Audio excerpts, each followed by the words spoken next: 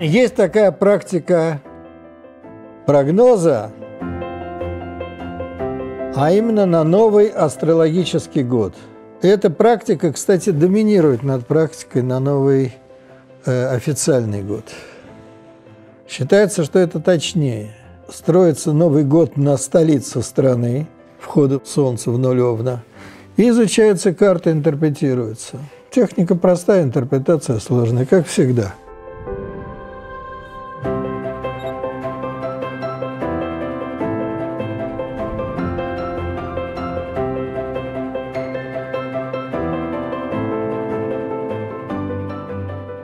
Что я вижу? Вот я построил карту сначала на Москву, а потом уже доберемся до всех остальных. Кстати сказать, астрологи, профессионалы могут строить на каждую область отдельно, на столице этой области. Как будет идти картина в этой области конкретно. Но у нас субъектов федерации много, поэтому я не буду на каждом из них разбираться, на всю страну в целом. Карта находится вся практически на востоке. Девять планет на востоке в момент Нового года только Луна на западе. Но Луна в очень таком своеобразном месте. Весь фокус туда идет, и она находится в доме шестом.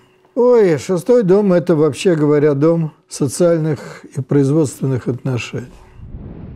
Иными словами, это зарплаты, это занятость, это фонды пенсионные, там, медицинское страхование. В общем, все, что создает социальное обеспечение людям, которые живут в этой стране.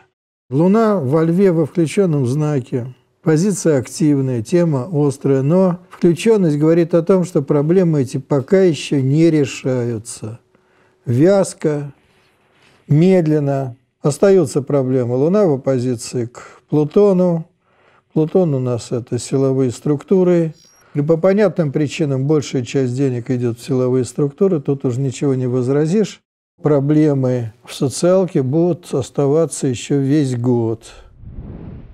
Единственное, что обнадеживает, что от Юпитера зеленый аспект. Какие-то попытки улучшить ситуацию будут.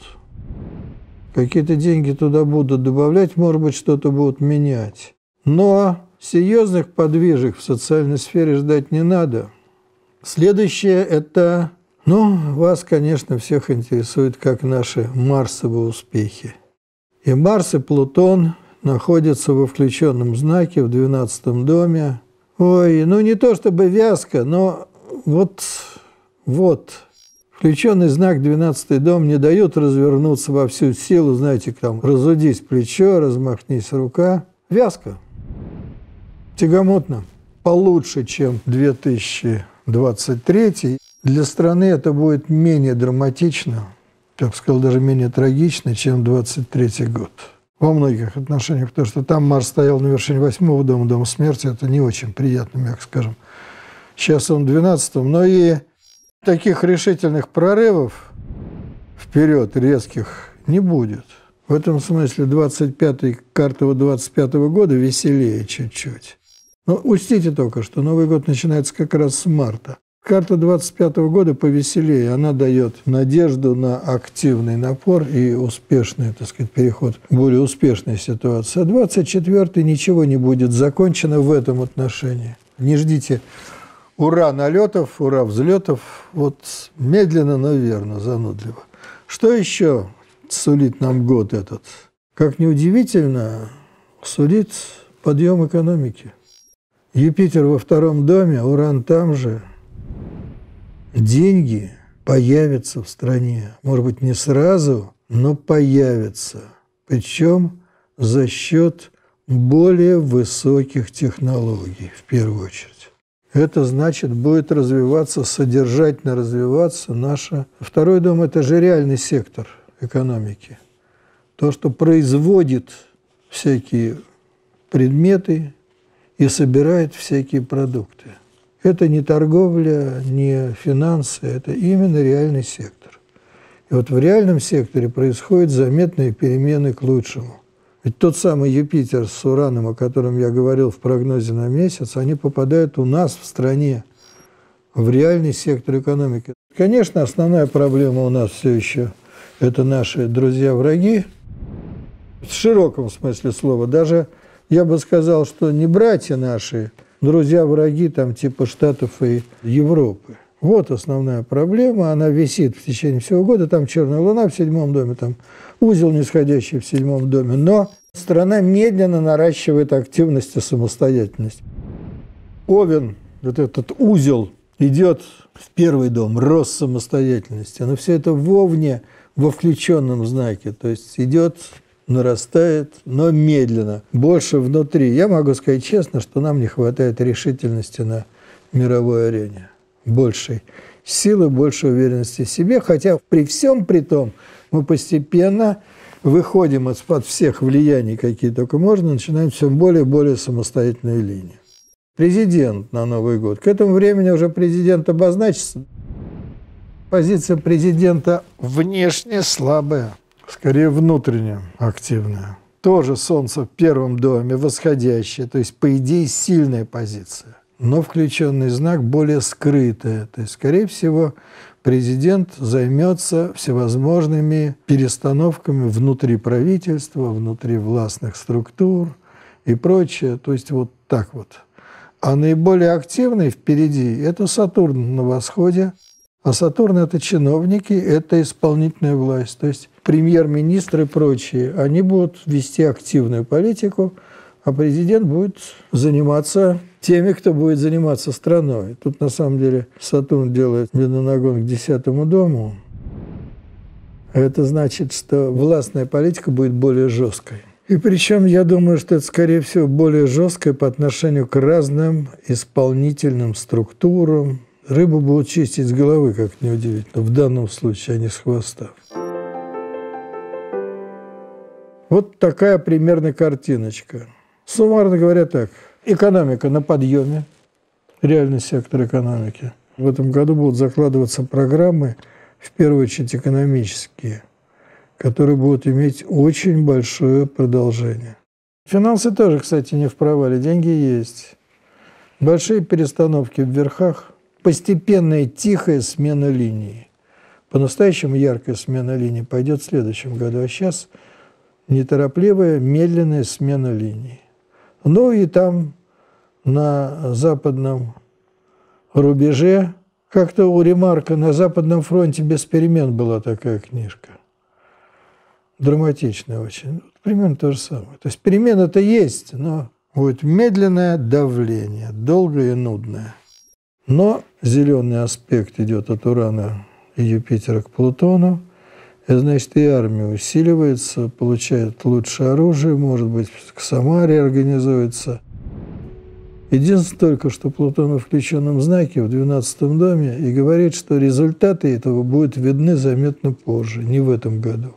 Вот яркие результаты, они не сразу будут видны. В наши времена многим очень хочется понять, что же происходит, куда движется мир – Самый лучший взгляд на историю – взгляд сверху, когда перед нами скрывается вся картина мировых процессов. Есть такая дисциплина мировая астрология. Знание мировой астрологии дает возможность понять, куда же мы движемся, понять будущее своей страны, своего народа, всего человечества в целом. Но для этого астрологию надо знать, надо ее учить. Не для того, чтобы доверять словам специалистов, а чтобы понять самому и увидеть самому – Приходите к нам учиться. Ну так ведь это же мы можем не только за нашу Родину. Мы можем посмотреть, в общем-то, общее положение в мире и пройтись по всему миру. Начнем, конечно же, с Европы. Португалия сначала, где есть город Лиссабон. Да ничего там особого не происходит, честно говоря. Живут себе и живут. Да, конечно, есть скрытые трудности с финансами, но несокрушительные, ничего особо там нету. Мадрид, центр испанский, да тоже так же, как и Португалия, в общем-то. С деньгами туговато. Особые социальные проблемы, ну, их не ждут. В общем, несмотря ни на что, идет какое-то улучшение. Для них этот год без больших потрясений. Дальше есть такой городок Париж – а как-то увидеть Париж и умереть. У Парижа очень интересно. Вот как раз Париж, уран точно в Надире. Это большие внутренние встряски. Речь идет не о Востоке. У них проблемы внутри. Серьезные социальные проблемы. И не уверен, что президент досидит до конца. Вот должны быть очень серьезные изменения во внутренней политике, возможно, даже в правительстве. Там проблемная зона. И финансовые проблемы перед ним довольно остро стоят. Но финансовые проблемы сейчас, вот эта тема, она волнует, вообще говоря, всю Европу, там, по крайней мере, западную. Активно они занимаются внешней политикой, но это вот... Дальше есть такой городок, как Брюссель. О, а ведь Брюссель-то это столица Евросоюза. И вот в Брюсселе жди очень больших подвижек. Даже не ожидал. Проблемы. Чем проблемы нескольких сортов. Вообще, как и во Франции, уран в надире. Это значит, что можно ожидать достаточно серьезных перемен в управлении. Еврокомиссарши и еврокомиссары. Возможно, резкие изменения в креслах. К тому же у них Сатурн точно на вершине второго дома, то есть денег. А черная луна в вершине восьмого, то есть чужие деньги, финансы, долги, кредиты. Проблемно очень. Они вычерпывают свои закрома, их со свободных денег становится все меньше и меньше. Политические проблемы, экономические проблемы, точнее финансовые. Ну что ж, посмотрим. Этот год будет трудный для Брюсселя и для его обитателей. Не всех, но в первую очередь еврокомиссаров. Есть еще такой город, как Берлин. Ух ты, мама родная. У Берлина то же самое, там финансовое. Но не поймешь, то ли лучше, то ли хуже. Там не Сатурн, а Нептун. А Нептун размывает ситуацию, делает неопределенность. Вот там финансовая неопределенность наступает. Не то чтобы облом, не то чтобы подъем, но неопределенность совершенно четкая. Финансы, кредиты, банковские деньги, деньги, работающие в реальном секторе, это будет проблема этого года и большие социальные протесты. Год идет под знаком социальных протестов и большой встряски. В войну они, конечно, скорее всего, не влезут, потому что там напротив стоит Луна в седьмом доме. То есть это не агрессивная планета. Это скорее говорит именно о больших социальных протестах. Следующее у нас Рим. Лягушатников посмотрели, теперь смотрим макаронников. Знаете, у макаронников ничего принципиально нового, прямо анекдот. Причем, как неудивительно, в общем, финансовая стабильность. В целом все тихо, спокойно. Ну, посмотрим, что у нас там в Праге. В Праге трудная ситуация, видимо, связана с активным участием в действиях на западе России и на востоке Европы, по крайней мере, психологическим. Они напористые, они активно принимают Россия по-прежнему не любит и очень активно, и, видимо, с ней борется. Та же самая ситуация, финансовая неопределенность. Президент стабильный, стоит нормально, но Плутон подсказывает, что, возможно, они наткнутся на сложную ситуацию, это приведет к протестам. Будапешт, венгры. У венгров значительно лучше, чем у чехов, несмотря на то, что тряска, там есть какие-то проблемы финансовые, но в целом устойчивые, даже финансово достаточно устойчивые. Венгров спокойно. Сербы наши любимые. Сербы положение неровное, трудное. На них давят, они тоже пытаются давить. Марс еще не вышел на асцендент, но в первом доме. И, видимо, отношения внутри страны довольно сложные, особенно с соседями напряженка. Я думаю, что Косово, проблема Косово нарастает, это самая главная проблема. То же самое социальные проблемы, но они их пытаются активно решать. Болгария. Устойчиво трудная ситуация в экономике, но устойчивая, не какой-то особый облом. Финансовые проблемы висят очень остро. Узлы идут точно по оси 8 2 проблема стоит серьезная, нарастают внутренние протесты, возможны перемены во власти мягкие. Вот эти болгары там, даже когда резко, все равно мягко. Варшава. Неплохо на самом деле. Тихо, спокойно, шума много, никаких глобальных проблем нету. Социальные проблемы у них висят. Занятость, вот эти проблемы конкуренции, связанные с Украиной, и с другими соседями. Рига, Латвия. Очень остро висят социальные и финансовые проблемы. Все нарастает, нарастает. Может быть, к концу года чуть улучшится, но год трудный. Очень в финансовом отношении трудный и очень проблемный. Финляндия. Политические встряски большие. Все-таки дорвались они. Политический кризис устойчивый. Финнам, наверное, надоело вот это, то, что им подсунули, правительство их, воспитанное в Америке, подсунуло им решение. Кризис устойчивый, кризис властный.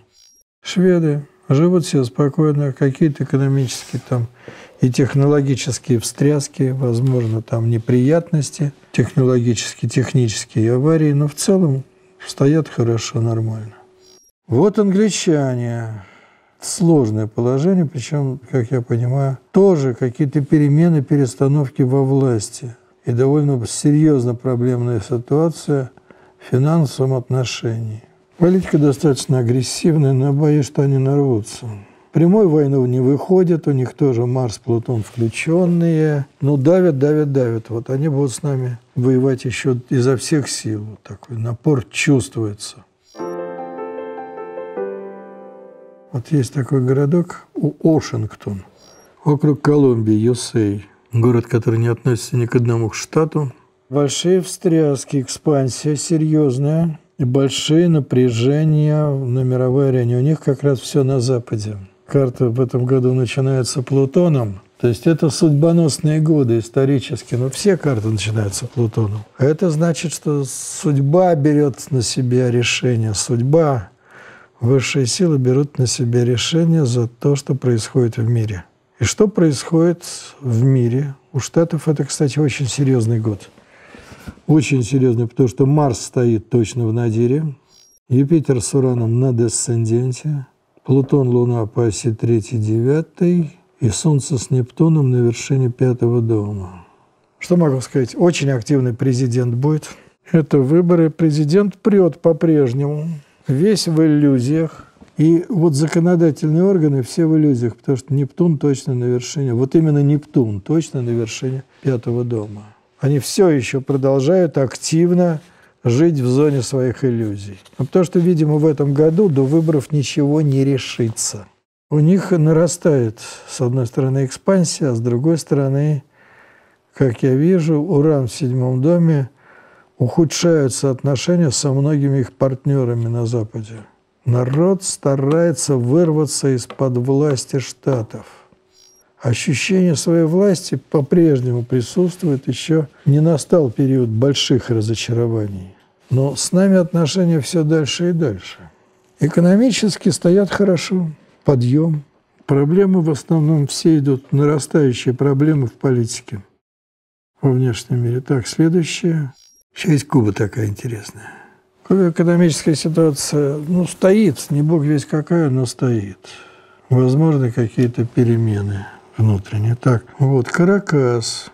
Ну, такой, экономика не очень устойчивая, но и не очень обломит. Вот. По-прежнему активная дружба с нами нарастает. Президент, в общем, достаточно сильной позиции. Улучшение социальное, как неудивительно. Где-то социальное улучшение есть. Mm, понятно. Видно отношения с далекой страной, такой позитивный рост изменения к лучшему. Улучшение социальной обстановки в целом. Правительство сильное, положение активное. Я пока Бразилию посмотрю. Положение политическое сильное, вложения большие, проблемы социальные у них. Финансовое положение достаточно хорошее, устойчивое, а вот социальные сложности у них большие. Об этом никто ничего не говорит. Канада тоже не очень интересна. Какая у них столица Оттава? Внутренние конфликты, некоторые проблемы финансовые, протесты идут. Но в целом страна, в общем, стоит устойчиво, никаких особых проблем больших нету. Есть городок Киев. Вот самое интересное, что два разных совершенно положения – нас военные действия, скажем, все эти вот это СВО, выглядят как вялые. У них как очень активные. То есть они вкладываются изо всех сил в это. Марс точно на асценденте, то есть для них это самая главная тема историческая все это время и напряженная очень. проблемная. Денег им подкинут, но не сразу, и особых чудес здесь нету. Подкинут недостаточно, но подкинут. Для них, да, весь этот год тяжелый. Восьмой дом Венера – тяжелый год. А наши северные другие братья и сестры, понятно, напряжение экономические присутствуют и присутствуют. Денег мало, но мы держитесь. Власть стабильная, надежная. Президент пользуется популярностью достаточно большой. Воевать они ни с кем не воюют. Марс далеко от асцендента, хотя напористые такие – Конечно, проблемы с соседями есть, но они скрытые. Так что вот это не расползется по территории Беларуси и дальше. Социальные проблемы стоят. Казахи. Еще есть Казахстан. Активная позиция. Разрыва отношений ни с кем нет. Они пытаются играть на две руки. Сторона пытается заявлять о себе, демонстрировать самостоятельность. То есть она будет продолжать бодаться с Россией. Социальные проблемы устойчивые, экономические проблемы устойчивые. А так вроде ничего. Какой-то рост при этом наблюдается. Так, ничего особого в Ташкенте не происходит. Активные, расширяются, растут, как неудивительно, растут. Страна на подъеме. Медленно, но развивается. Власть явно чисто авторитарная, это никаких сомнений нет. Иерусалим. Да то же самое. Продолжение, вязкое продолжение ситуации. Траты большие на армию, на войну. Ухудшение некоторых социального положения, но в принципе в Израиле все идет достаточно успешно. Хотя этот год еще будет целая куча внутренних проблем. Может быть, не так активна война, как раньше. Ну-ка посмотрим, что у нас в 23-м было в Израиле.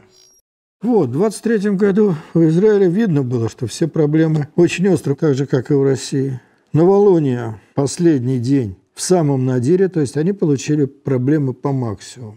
А вот этот год, 24-й, просто значительно спокойнее. Они, скорее всего, будут долго и нудно разбираться со своими внутренними врагами. Отношения с ближайшими соседями острые, но войны с Ираном я не вижу. Не влезет Иран. Будет это еще целый год такого занудства, занудливых разборок. Если смотреть по этой карте, то Тегеран в войну тоже не ввяжется. Они будут поддерживать, да. Это для них периферия далекая. Они будут заниматься, активно заниматься экономическими вопросами. Бейрут. Да, Бейруту туго. У них внутренние проблемы серьезные. Мы это видим вот ситуацию с Хизбаллой. Там напряжение на территории, самой территории Ливана. Хотя сам Ливан не участвует официально в войне. Есть еще Сирия. Вот Сирии тяжело, у них постоянно это продолжается, драка еще долго, нудно, активно. Но президент стоит прочно, власть жестко. Как неудивительно, финансы улучшаются. Уменьшаются проблемы, денег становится больше. Вот и все. А еще кто? А вот хусит и Йемен. Солнце на асценденте. Во, ребята, кто шумит. Они еще целый год будут продолжать шуметь, у них солнце на асценденте. Судя по всему, большая война в 24-м не разразится. Но и завершения, полноценного завершения не будет. У Израиля ситуация заметно улучшится, внутри что-то завершится, но все равно вот это 24-й получается просто продолжение. Дальше что у нас еще? У нас есть Китай. А в Китае город Пекин – нет, в войну в этом году они не ввяжутся. Напряжения растут, жесткая внутренняя политика, активная, активно развивает экономика, но там проблемы некоторые у них сейчас. Небольшие проблемы скрытые, но в принципе стоят нормально. Политика нормальная, сильное правительство, сильная власть. Так, кто еще у нас следующий за Китаем-то? Дели активный напор, деятельный, целенаправленное развитие, ярко выраженной войны не видно, экономическое положение, ну, перемены какие-то. Есть свои трудности, есть свои плюсы, там и квадрат Сатурна, и квинтил Солнцем. Так, что у нас тут еще есть? Япония, Токио. Хорошо, экономика развивается. В политике тряски политические большие. возможна перемена в правительстве, серьезные изменения. Но так в целом ничего особо не происходит. Работает на новых технологиях, положение стабильное.